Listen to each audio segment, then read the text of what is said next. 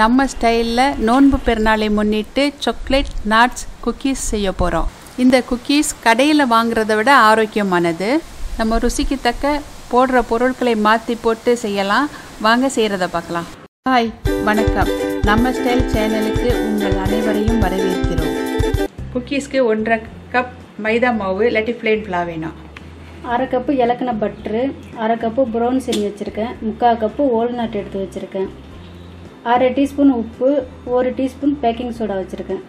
ஒன்றே கால் cup chocolate chips எடுத்து வச்சுருக்கேன். வெண்ணிலா எசன்ஸ் ஒரு டீஸ்பூன் தேவைப்படும்.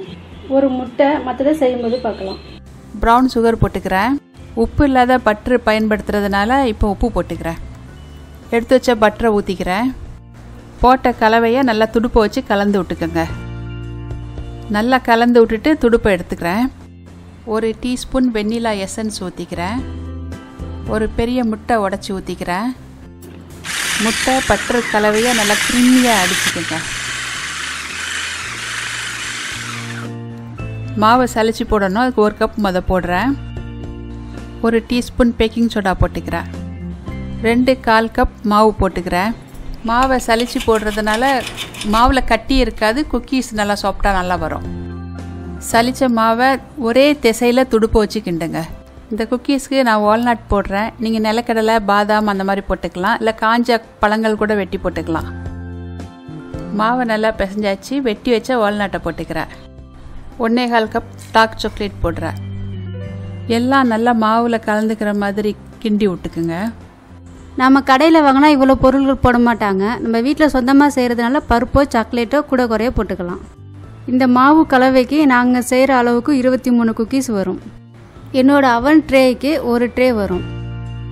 கலந்து வச்ச மாவை கிளிங் ரஃப் தாள் வச்சு மூடி ஐஸ் பெட்டியில் காய்கறி வைக்கிற இடத்துல வச்சு ஒரு மணி நேரம் கழித்து பார்க்கலாம். ஒரு மணி நேரம் ஐஸ் பெட்டியில் இருந்த மாவை வெளில எடுத்து மேலே உள்ள ரப்பை எடுத்துக்கிறேன். ஐஸ்கிரீம் ஸ்கூப்பை வச்சு நான் மாவல்லி வைக்க போகிறேன் பேக்கிங் ட்ரேயில் பேக்கிங் தாள் போட்டு வச்சுருக்கேன். ஒரு குக்கி செய்கிறதுக்கு ஒரு ஸ்கூப் மாவு எடுத்து வைக்கிறேன். இந்த ஸ்கூப் இல்லாட்டியும் ஸ்பூனோ முள்ளுக்கரண்டி வச்சு பயன்படுத்திக்கலாம். குக்கீஸ் பொங்கி வர்றதுக்கும் சூடு எல்லா பக்கமும் பரவுறதுக்கும் இடைவேளை விட்டு வைங்க. இதே மாதிரி எல்லா மாவையும் எடுத்து வச்சுக்கோங்க. நாம் இங்கே குக்கீஸ் மாவு எடுத்து வைக்கும்போது அங்கே அவனை தயார் நிலையில் சூடு பண்ண வச்சுக்கணும். இரநூறு டிகிரி சூடாக்கின அடுப்பில் குக்கீஸ் மாவு எடுத்து வைக்கிறேன். மேலேயும் புது டீ வச்சு வேக விடுங்க. அவனில் வச்ச குக்கீஸை இருபது நிமிஷத்துக்கு அப்புறம் எடுக்கிறேன். உங்கள் அவனுக்கு தக்க கூட குறைய வச்சுக்கோங்க. குக்கீஸ் சூடு ஆறுனதுக்கு அப்புறம் காற்று போகாத டப்பாவில் போட்டு மூடி வச்சுக்கோங்க. ஒரு மாதம் கூட வச்சு சாப்பிட்டுக்கலாம். விரும்பி சாப்பிட்றவங்களா இருந்தால் சாக்லேட் அதிகம் போட்டுக்கிறதுனால ரெண்டு நாள் கூட தாங்காது. கோமதி அனுபவத்தில் சொல்லுது. நம்ம ஸ்டைல் சாக்லேட் நட்ஸ் குக்கீஸ் தயாராயிட்டு. உங்களுக்கும் பிடிச்சிருக்குன்னு நம்புகிறோம் இந்த ஹெல்த்தியான குக்கீஸை செய்து நோன்பு பெருநாளை இனிமையாக கொண்டாடுங்கள். எங்களையும் மகிழ்ச்சிப்படுத்துங்கள். இந்த வீடியோ உங்களுக்கு பிடித்திருந்தால் லைக் பண்ணுங்க ஷேர் பண்ணுங்க கமெண்ட் பண்ணுங்க சப்ஸ்கிரைப் பண்ணுங்கள். பிறகு கீழே இருக்கும் பெல் பட்டனை அழுத்துங்கள். நம்ம ஸ்டைல் சேனலை பார்த்ததற்கு நன்றி.